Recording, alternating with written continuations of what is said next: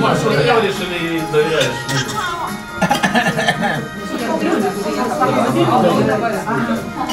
Говори.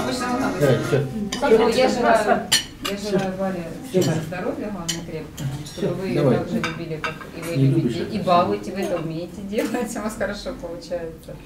Чтобы Да, она да, вам да. только радость приносила, вы ей Сыночек тоже очень много радости доставляли, чтобы у нее в жизни было очень много позитива и не было никаких негативных моментов. Спасибо. Спасибо. Ура.